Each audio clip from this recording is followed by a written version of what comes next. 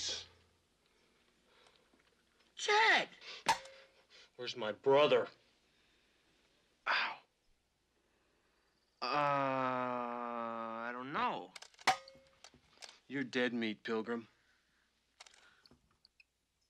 Um. Chet, Chet, Chet, Chet, Chet. That's her nose. Come on, now look, she has nothing to do with it. Okay. You die. She walks out of here with a severe limp.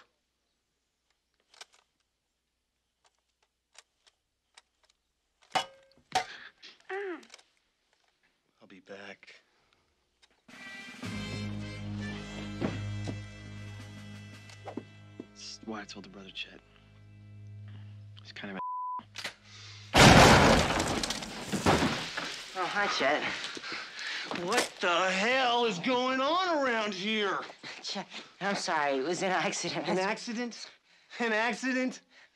Do you realize it's snowing in my room? God damn it! Um, some real weird happened, Chet. Some real You weird. don't be a genius to figure that out, monkey. Start talking, little man. Look, Chet, it's a real long story.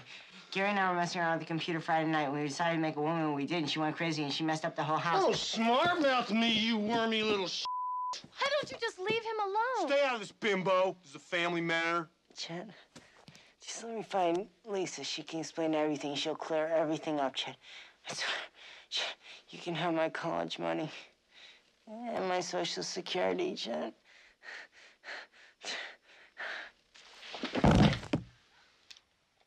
So, you guys think you can pull one over on me, huh? Huh? You got everybody synced to the same shit story. This isn't. This is a Pershing missile chip. It's Chet. My name is Chet. And I didn't think it was a whale's honey. Hi, Nanny. Hi, Grampy. I'm not a moron, you know. I. Was that my grandparents?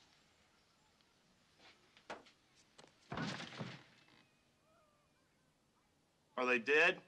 Oh no, they're just resting. What are they doing in here? I put them in there. I didn't want the boys to get into trouble. Quite frankly, they weren't having a very good time at the party. Not having a good time? Do you think they're having a good time being catatonic in a closet? Do you have any idea how disrespectful that is? Boy, I wouldn't give a squirt of piss for your ass right now.